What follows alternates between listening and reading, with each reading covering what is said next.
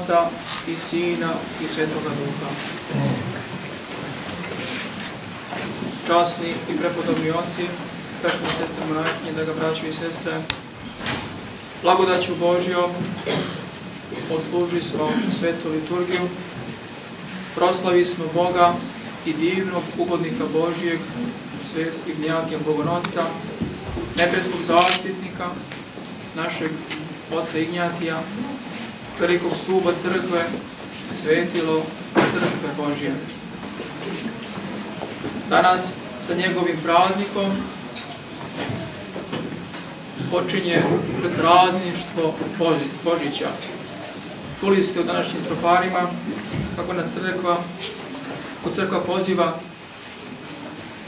Vitlejeme, pripremi se.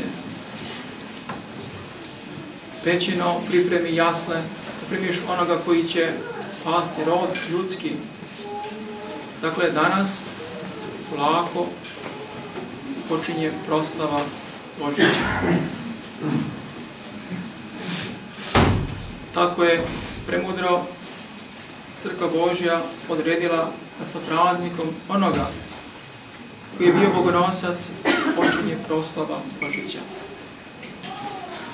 Zbog čega se Sveti Gnjatije naziva bogonoscem? Predanje kaže zbog toga što ga je sam ovaploćeni Bog nosio u svojim rukama. Naime, kada je Gospod propovedao Carstvo nebesko, to je sveto evanđelje, među slušalcima bili su i roditelji Gnjatija sa svojim detetom Gnjatijem. I Gospod, želeći da sve učenike i prisutne nauči smirenje, pozove ovo dete Ignjatija, zagrli ga, uzme ga u svoje ruke, podigne i reče ako se ne povratite i ne budete kao deca, nećete moći u carstvo nebesko. I ko primi u ime moje jedno ovakvo dete, mene prima. Ako mene prima, ne prima mene nego ona koji me poslao. Takvu je lekciju Gospod držao svojim učenicima, sa ovim svetim detetom koji će kasnije biti veliki ispovednik pravoslavlja i mučenik Hristov, sveštenog mučenika. I ne samo zbog toga, Sveti Gnjatije se naziva Bogonosce, zbog toga što je Boga i on sam u srcu svome nosio. Dakle, verovao gospoda Isusa Hrista, vaskrslo, pobeditelja greka, smrti i djavola, nosio ga u srcu svome, to jest vršio zapovesti njegove. I kroz to vršenje zapovesti očistio srce svoje i postao stanište Božije. Zbog toga i bogonosac. Ovo malo detence koje je gospod držao u svojim rukama, posle toga je telesno raslo, ali i duhovno. U drugovodstvu svojih roditelja živjela je po zapovistim gospodnjim i malo po malo duša njegova uzrastala do mere rasta visine Hristove, dok se Hristos nije verom uselio u srce njegovo. I u to vreme, kada je Gospod Hristos živo u njegovom srcu, u svetu je živeo i rimskim carastvom vladao rimski car Trajan. On je u to vreme podigao veliko gonjenje na hrišćane, jer je čuo da se oni ne pokoravaju njegovoj naredbi, da se bogovima lažnim prinose žrtve. I ne samo da se ne, se ne pokoravaju, nego i hule na bogove i pozivaju poštovanje jednog istinitog Boga, hvale devstvenost i hvale onu pobožnost koju je Hristos doneo u ovaj svijet. Tako, rimski car Trajan čuši za antijepijskog episkopa Ignjatija.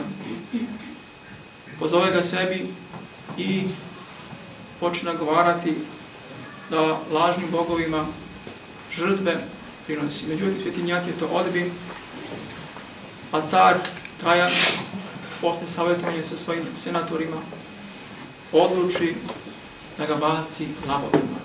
No, ne u Antiohiji gdje mu je bio presto, nego u Rimu, da bi na taj način postrada kao stranac, kao neki razbojnik koji je narušio carske zakone, da njegovo ime ne bi bilo slavno među hrišćanima, da hrišćani ne bi proslavljali kao mučenika Hristovog. Tako i bi car okova svetog Ignjatija i posla ga u Rim. A on, znajući da može na molbe hrišćana, čak i na njihovu fizičku pobunu, da bude sprečen da Bogu prinese sebe na žrtvu miomirisu, bogugodnu, stade moliti svoje poslanici, braću iz Rima, da ga ne sprečavaju da on stade za gospoda Isa Hrista. Piše toj poslanici Rimljanima, ja sam šenica Božja, neka me zub iz verova rastragnu, da bih postao čisti hleb gospodin. Tako je žudeo za smrću, tako je hitao na smrt, kao na svadbu, kao na pir. Takva je njegova vera bila, takva je njegova ljubav bila, tako je njegova čežnja za gospodom, carstvo nebeskom bila, braćo i sestre. Zbog čega sve to i kako je to sve postigao? Najpre pravom verom, a onda životom po toj veri. Dakle, verom koja kroz ljubav dela.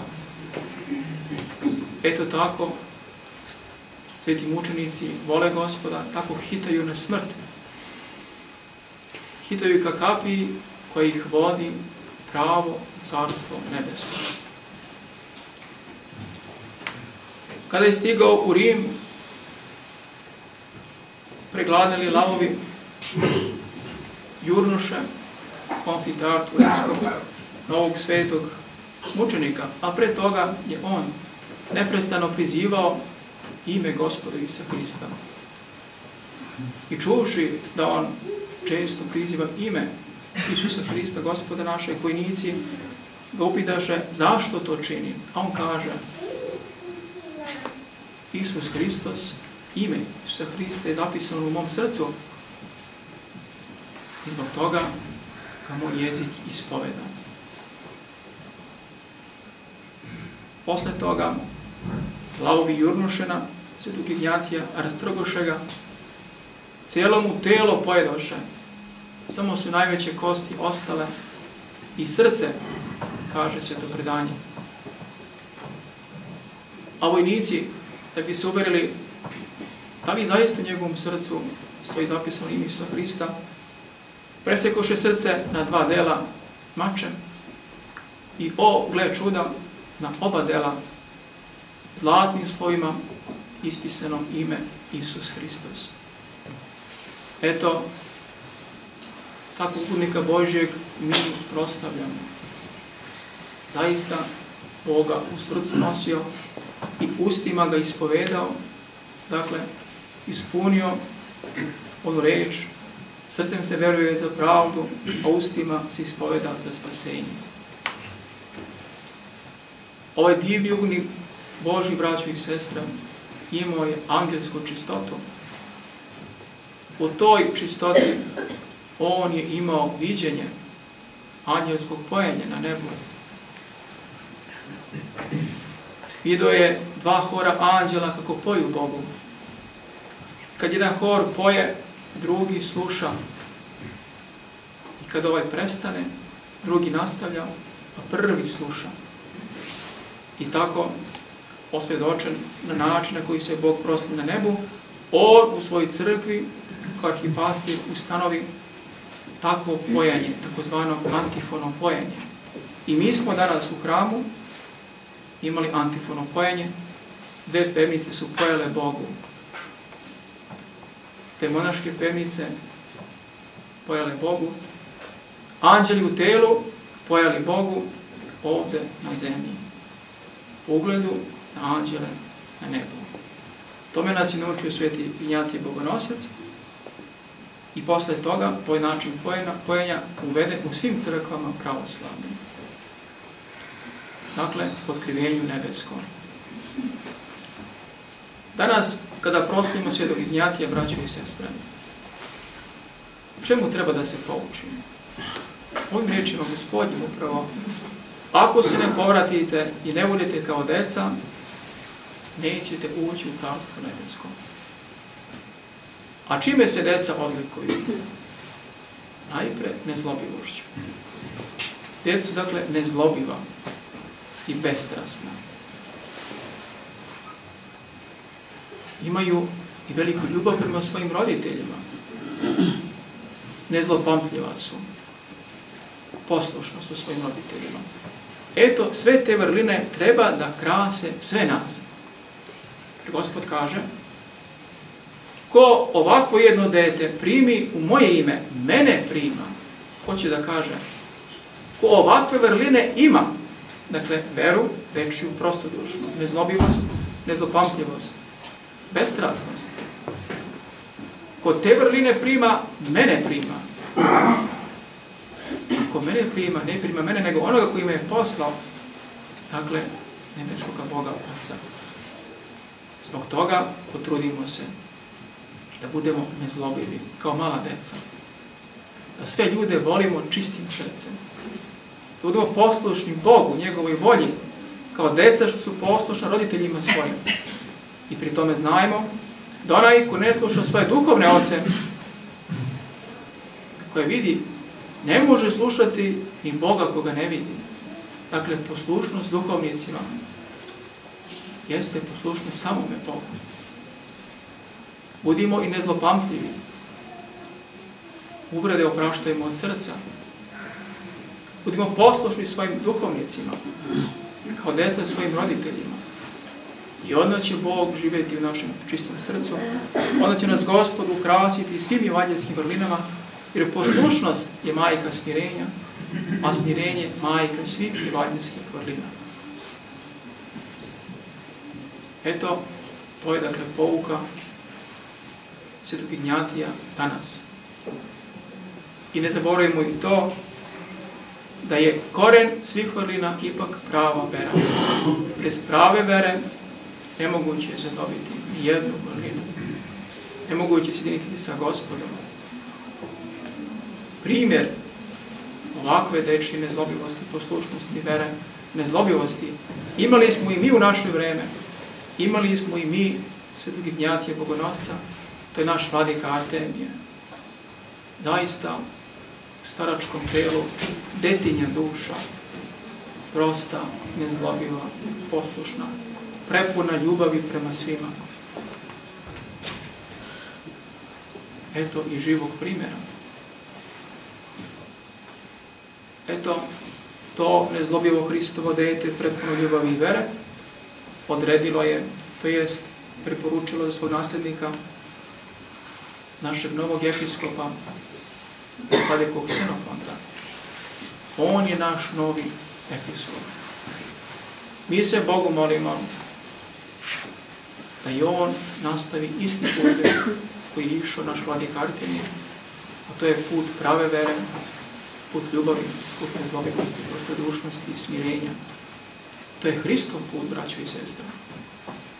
Molimo se svi za njega da ga Gospod ukrepi njegovom teškom poslušanju, jer zaista bez pomoći Božije čovjek ne može ništa dobro učiniti. I mi smo dužni da volimo našega pastira, da ga slušamo, da bi naš trud zaista bio Bogu ugodan, da bi nas Gospod blagoslavio, jer rekao smo, bez poslušnosti pastiru nema ni jedne evanđelske vrline.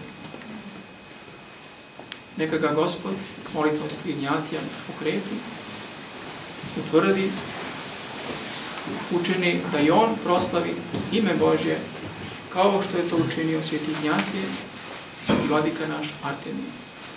Neka sve vrline koje spomenuli krase i našeg oca Ignjatija, koji nosi ime svetog Ignjatija, neka ove vanjske vrline krase i sve nas, braćo i sestre, da bismo zaista bili deca Božja, a kad odemo iz tela, se nađemo tamo gdje je sveti Ignjatije, sveti Artemije i svi sveti iz roda našeg. Amin, Bože da. Neka je srećan i blagoslavljen imedan Bože Ignjatije, da slavimo u miru, ljubavi i zajedništvu do kraja sveta i veka. Srećan.